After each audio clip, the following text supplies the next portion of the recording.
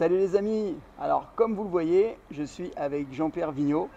Alors pour les plus jeunes, bah, je vais le présenter rapidement, mais en, rapidement parce que lui va rentrer dans le détail. Il connaît mieux sa vie que moi je peux connaître sa vie. Et en fait, il va donner des conseils sur la vie, sur plein de choses. Il a tellement de choses à dire, il a un gros vécu. Alors euh, Jean-Pierre, t'as quel âge? 77, bientôt 78.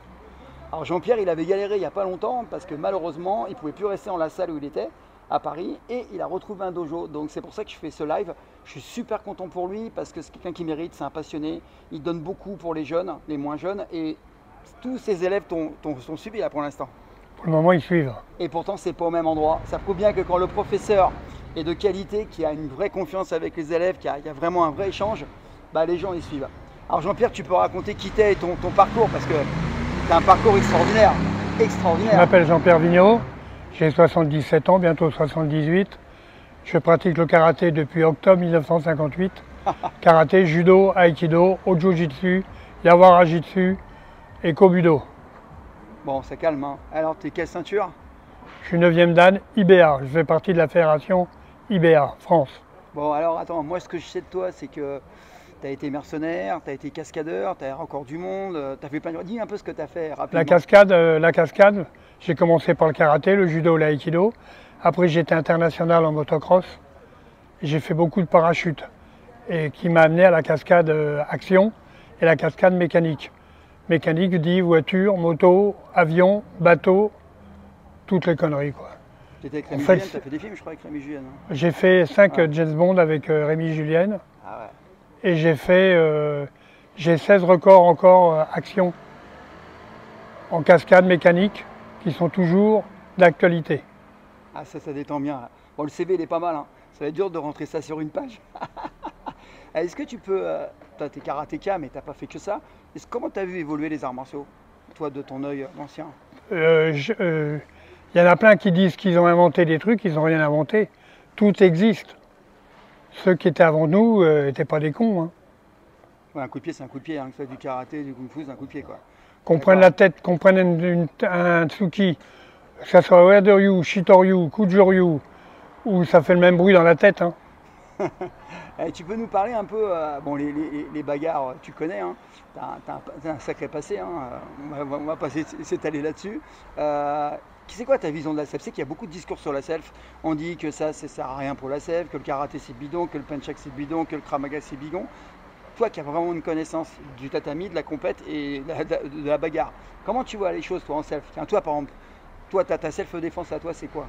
Bah, Il y a la self-défense sur une saisie, sur une attaque, c'est pas la même réaction. Ça peut être dégagement sur une saisie, une attaque après ou une contre-attaque. Alors apparemment, euh, ceux qui disent que c'est bidon, ils disent bidon parce qu'ils veulent euh, marcher dans leur crèmerie ou ils vont vraiment des actions. Parce qu'à partir du moment qu'on fait du sport, il y a des interdits. Et moi, j'aime pas les interdits. On fait du sport, le sport avec les interdits, fédéral, c'est normal. Mais le sport, c'est le sport. Dans la rue, c'est la rue. C'est autre chose, ça n'a rien à voir. Il y a beaucoup de gens qui disent qu'un mec guéri euh, dans les parties génitales, ça ne sert à rien. Ou les doigts dans, les yeux, ou à la gorge, ou derrière la tête. Bon, c'est efficace. C'est efficace. Bah, évidemment, toi, moi ça me fait marrer parce qu'il y a des mecs qui viennent de nulle part et qui disent justement que euh, bah, le karaté ça sert à rien, que le judo ça sert à rien. Moi je dis toujours si le prof est bon, ah, il dit bonjour à ses élèves. Bonjour. Et euh, c'est ça quand tu es une vedette. Et en fait, ouais, donc tu es bien, bien d'accord que quoi que tu fasses, tu fais un arme ça, tu le fais sérieusement et tu es bien engagé et que tu as le mental, forcément que ça sera efficace. Bien faire la différence entre les arts martiaux et les sports de combat. Les sports de combat, il y a des interdits. Les arts martiaux, il n'y a pas d'interdit. On contrôle, c'est tout. Les doigts dans les yeux, ça se contrôle. On ne met pas les doigts dans les yeux pour montrer que ça fait mal. On est ni un tibia dans les burnes. Ça fait mal. Ceux qui disent que ça fait pas mal, c'est qu'ils n'en ont jamais pris. Bah, Ou alors ils en ont pris par ceux qui ne savaient pas les mettre. Ça aussi. Hmm. Et justement, il y a une question qui revient souvent, qui est intéressante. Tu vois, les gens, ils parlent de self-défense et on parle beaucoup de couteaux, parce que tu sais qu'il y a beaucoup d'attaques au couteau. Moi, je dis que la meilleure technique face à un couteau, c'est se barrer. Euh, mais des fois, tu ne veux pas te barrer. Qu'est-ce que tu en penses du couteau? Ben moi, je suis marron parce que je ne peux pas courir avec une prothèse de ah, hanche. Je ne peux pas courir. Donc, euh, de face. Le pire, le pire que j'ai connu, c'était un rasoir pour se raser un coup de chou avec une ficelle. Le mec il tournait la ficelle Et il euh, faut avoir une veste, un blouson et se servir de son blouson Une et de sa veste.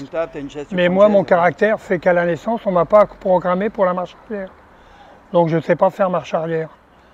Et en plus, je ne peux plus courir avec la prothèse. Donc faut que tu y ailles. Il faut, faut rentrer dedans. Et tu es d'accord si tu as une chaise, tu as une table, tu as n'importe quoi. Bah, tout ce qui tombe sous la main, Tout ce qui tombe sous la main. D'accord. Et, et alors justement, toi, tu enseignes aux, aux- aux enfants. Je sais que tu es très dans le han- handicap, je ne me trompe pas. Tu as bossé pour le handicap, pour les enfants. Tu un J'ai quelques enfants qui sont génial. J'ai des enfants qui sont autistes. Mais euh, est-ce que je ne suis pas trisomique moi-même? Bon, on est tous un petit peu. hein. Je crois. faut être honnête. Mais euh, justement, euh, avec les enfants, comment tu abordes la, la- la- la pratique? Moi, je le fais comme avec les adultes. Je ne fais pas de différence. On fait du karaté, euh, adulte, enfant.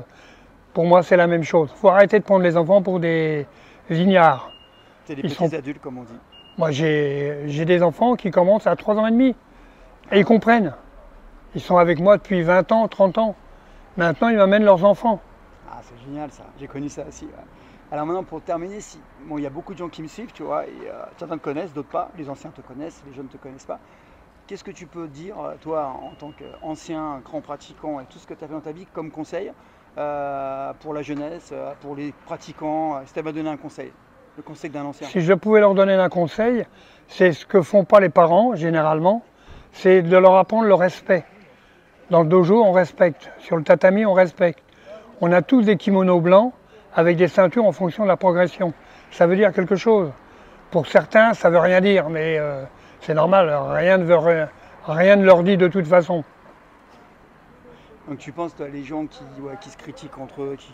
Ça sert à rien. passer au-dessus de ça. Ça sert à rien. C'est qu'ils connaissent rien. C'est vraiment. Maintenant, il y a un jeu là-dessus. hein. Les gens se critiquent beaucoup avec les réseaux sociaux, t'as remarqué Ouais, mais bon, Et, je euh, je suis pas réseau chaud toi, moi. tu pratiques, t'occupes pas des autres, quoi. Je pratique, c'est tout. Bon, Et alors, après, qu'ils viennent pratiquer. On verra. Quand tu t'entraînes, t'as pas le temps de t'occuper. D'accord, hein Bon, tu fais toujours de la muscule? Toujours. Incroyable, hein Moi, j'y suis mec, je me souviens quand tu étais dans le 20 e tu disais que tu poussais déjà. On avait le même ostéopathe, il faut savoir. Tu te rappelles, le pauvre, il est décédé. ostéo- ouais. Ouais, Comon, un super ostéo, hein, un mec généreux. hein. Et euh, il y avait plein de, il y avait bon, mecs qui passaient, enfin, il y avait plein de gens des sports de combat qui passaient, c'était génial, quoi. Bah, écoute le mot de la fin, allez, qu'est-ce que tu peux dire? Bonjour, bonjour à tous, au revoir à tous, et j'espère que vous pratiquez. Sérieux, vous avez un client avec vous là. Oh, je suis un petit client par rapport à toi. Ah non, on est tous clients. Il faut savoir que Jean-Pierre, je l'ai connu euh, à travers les magazines karaté Bushido, non, non, et euh, bah, tu racontais ton parcours de mercenaire, tes bagarres, tes cascades et tes, blessures, tu beaucoup de blessures, hein. mais en fait il est revenu à chaque fois. En fait c'est quelqu'un, moi ce que j'aime, et c'est pour ça que tu es connu aussi, c'est un mental hors pair, détermination, il perd sa salle, mais pas d'inquiétude, je vais retrouver, il faut savoir que c'est lui qui l'a trouvé, je ne mens pas, hein. c'est toi qui l'as trouvé, on lui a pas trouvé, il se démerde tout seul, tu t'es fait tout seul de toute façon toi. Hein Je suis de l'assistance publique. L'assistance publique, c'est apprendre à faire tout seul. Le reste, c'est bidon. À moins d'avoir des amis. Mais les amis se comptent sur une main quand on est dans la merde. Quand on n'est pas dans la merde, on a plein d'amis. Quand on est dans la merde, on a beaucoup moins. Ah, ça c'est clair. En tout cas, bravo. Enfin, moi, je suis content pour lui parce qu'il a retrouvé une salle. Et puis, ah, bah, j'aime le bonhomme parce qu'il se prend pas la tête.